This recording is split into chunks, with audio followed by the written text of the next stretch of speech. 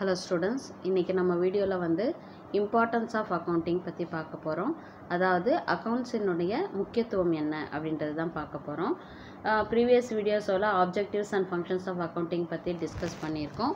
So அதில் ஏதாவது உங்களுக்கு டவுட்ஸ் இருந்ததுன்னா கூட கமெண்ட் செக்ஷனில் கமெண்ட் பண்ணுங்கள் இது வரைக்கும் நம்ம சேனலை சப்ஸ்கிரைப் பண்ணாதவங்க ப்ளீஸ் சப்ஸ்கிரைப் பண்ணுங்கள் பெல் ஐக்கானை கிளிக் பண்ணிவிட்டு ஆல் பட்டன் கிளிக் பண்ணிங்கன்னா நான் போடுற வீடியோஸோட நோட்டிஃபிகேஷன் உங்களுக்கு இமீடியட்டாக வரும்.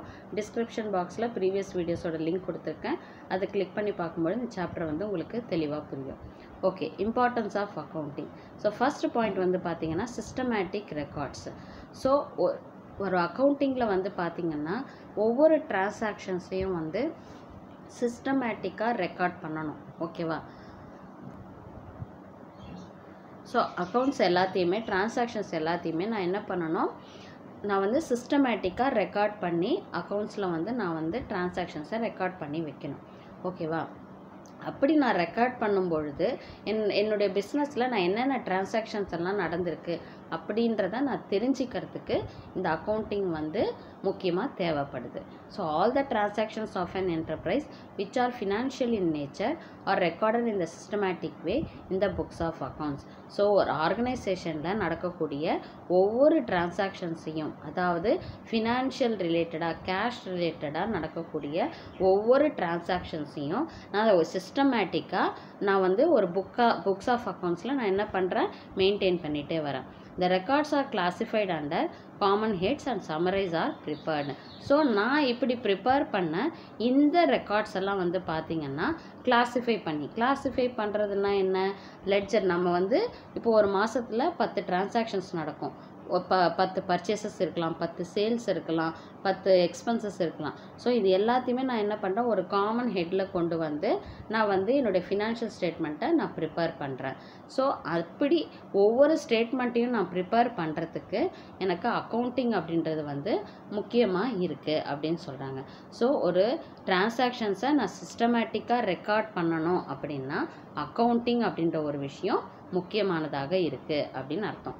அடுத்தது ப்ரிப்பரேஷன் ஆஃப் ஃபினான்ஷியல் ஸ்டேட்மெண்ட்ஸ் எது எதெல்லாம் financial statements trading and profit and loss account balance sheet income statement இதெல்லாம் தான் வந்து பார்த்திங்கன்னா ஃபினான்ஷியல் ஸ்டேட்மெண்ட் ஒரு ஃபினான்ஷியல் ஒரு பிஸ்னஸில் ஒரு ஃபினான்ஷியல் பொசிஷன் என்ன இருக்குது அப்படின்றத தெரிஞ்சுக்கிறதுக்காக நாம் எடுக்கக்கூடிய ஒவ்வொரு அக்கௌண்ட்டையும் தான் நம்ம என்ன சொல்கிறோம் ஃபினான்ஷியல் ஸ்டேட்மெண்ட் அப்படின்னு சொல்கிறோம் results of business operation and the financial position of the concern can be ascertained from the accounting periodically through the preparation of financial statements namely income statement or trading and profit and loss account and balance sheet this helps in distribution of profits to the owners and to provide funds for the growth of the business so நான் ஒரு பிஸ்னஸில் வந்து என்னென்ன அதாவது பொருளை எவ்வளோ manufacture பண்ணுறேன் அதுக்காக எவ்வளோ பர்ச்சே ரா மெட்டீரியல் எவ்வளோ பர்ச்சேஸ் பண்ணுறேன் எவ்வளோ வந்து எனக்கு நான் சேல் பண்ணுறேன் எவ்வளோ அதனால் எனக்கு இன்கம் கிடைக்கிது ஸோ இது எல்லாத்தையுமே ஃபினான்ஷியல் பொசிஷனை வந்து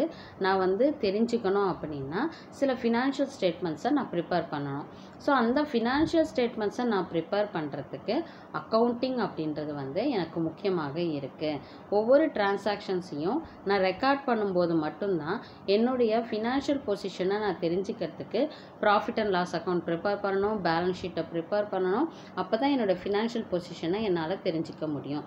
அப்போது ஒவ்வொரு டிரான்சாக்ஷன்ஸ்லேயும் அக்கௌண்டிங் அப்படின்றது வந்து ரொம்ப இம்பார்ட்டண்ட்டாக இருக்குது ஸோ இந்த மாதிரி நான் அக்கௌண்ட் ஸ்டேட்மெண்ட்டை நான் ப்ரிப்பேர் பண்ணும் பொழுது அந்த பிஸ்னஸினுடைய ஓனர் இருக்காங்க இல்லையா அவங்களுக்கு வந்து நமக்கு என்ன ப்ராஃபிட் கிடச்சிருக்கு? ஃபர்தராக நம்ம பிஸ்னஸை டெவலப் பண்ணோம்னா கிடைச்ச ப்ராஃபிட்லேருந்து மறுபடியும் நம்ம இன்வெஸ்ட் பண்ணி நம்ம பிஸ்னஸ் எப்படி டெவலப் பண்ண முடியும்? அப்படின்றதுக்கும் இந்த ஃபினான்ஷியல் ஸ்டேட்மெண்ட்ஸ் வந்து ஹெல்ப்ஃபுல்லாக இருக்குது அப்படிப்பட்ட ஃபினான்ஷியல் ஸ்டேட்மெண்ட்ஸை ப்ரிப்பேர் பண்ணுறதுக்கு அக்கௌண்டிங் அப்படின்றது வந்து முக்கியத்துவமாக இருக்குது அடுத்தது assessment of progress analysis and interpretation of financial data can be done to assess the process made in different areas and identify the areas of weaknesses அதாவது இப்போ ஒரு பிஸ்னஸில் வந்து பார்த்திங்கன்னா நம்ம ஒவ்வொரு டிரான்சாக்ஷன்ஸையும் நம்ம என்ன பண்ணுறோம் அக்கௌண்டிங் பண்ணிகிட்டே வரோம். ஸோ அக்கௌண்டிங் பண்ணிகிட்டே வரும்பொழுது நமக்கு வந்து எந்த இடத்துல இப்போ சேல்ஸ் அதிகமாக இருக்குதுன்னா நமக்கு வந்து அந்த அக்கௌண்டிங் மூலிமா தான் நம்மளால் தெரிஞ்சிக்க முடியும். ஓகேவா? சப்போஸ் நான் எக்ஸ்பென்சஸ் எனக்கு அதிகமாக இருக்குது அப்படின்னா அதையும் நான் இந்த அக்கௌண்ட் மூலிமா தான் தெரிஞ்சுக்க முடியும்.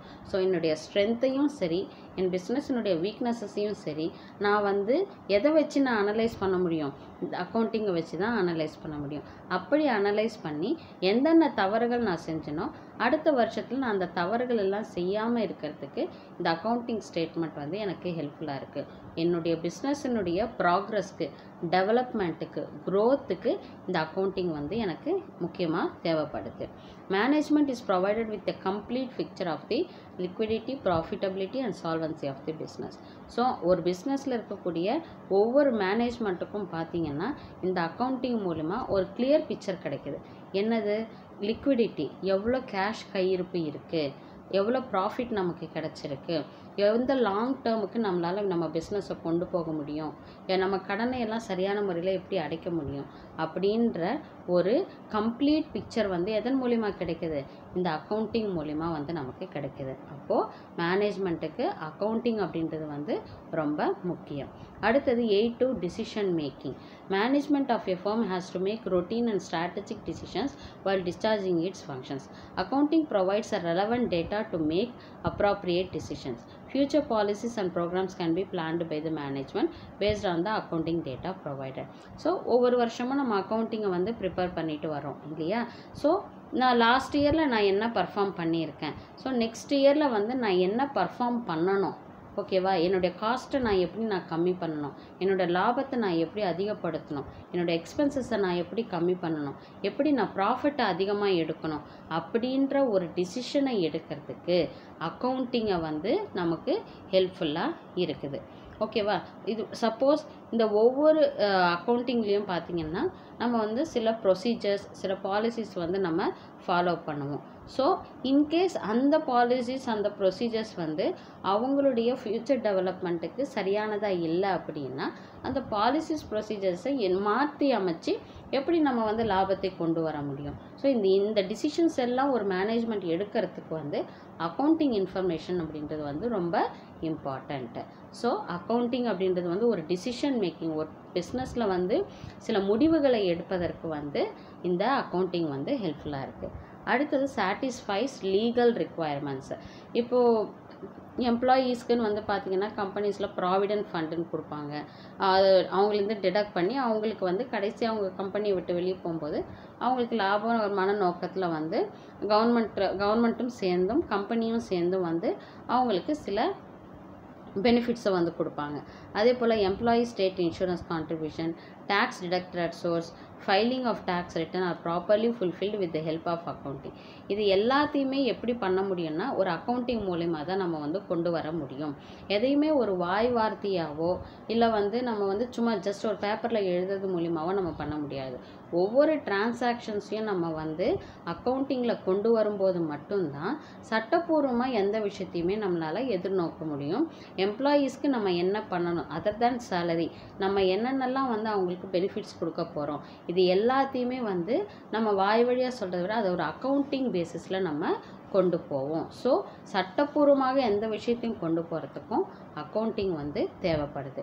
So preparation of accounts and financial statements as per the legal requirement is also facilitated so ஒவ்வொரு சட்டப்பூர்வமான ஒவ்வொரு விஷயங்களுக்கும் வந்து பார்த்திங்கன்னா அக்கௌண்ட்ஸை ப்ரிப்பேர் பண்ணுறதும் ஃபினான்ஷியல் ஸ்டேட்மெண்ட்ஸை வந்து சட்டப்பூர்வமாக நம்ம வந்து அதை ப்ரிப்பேர் பண்ணுறது அப்படின்றதும் ரொம்ப முக்கியம்.